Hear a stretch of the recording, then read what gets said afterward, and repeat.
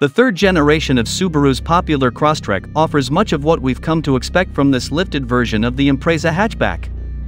The 2024 model has carryover engines and maintains a similar aesthetic, but Subaru says it features a stiffer chassis, and its standard features list grows.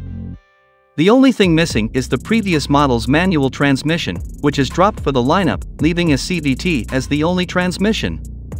As such, the base price rises from $24,870 to $26,290, although the equivalent automatic transmission base model doesn't see a price increase.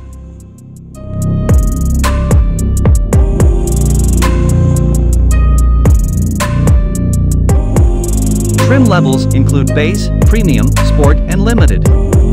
Like the previous Crosstrek, the lower two trims have a 152 horsepower 2.0-liter flat 4, while the $30,290 Sport and $32,190 Limited have a more powerful 182 horsepower 2.5-liter flat 4. A CVT and all-wheel drive are standard across the board.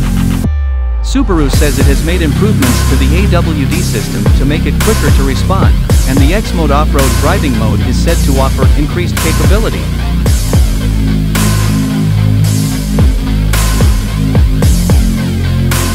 The Crosstrek has a similar shape but amps up the rugged look with even more black plastic body cladding. The Sport also has yellow accents inside and out for more color contrast. 17-inch wheels are standard, with 18 inches optional, and the Crosstrek has 8.7 inches of ground clearance.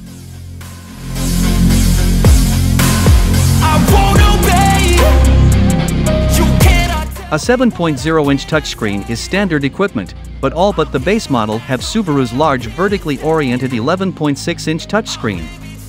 Subaru's EyeSight driver assistance features are standard equipment on all trims.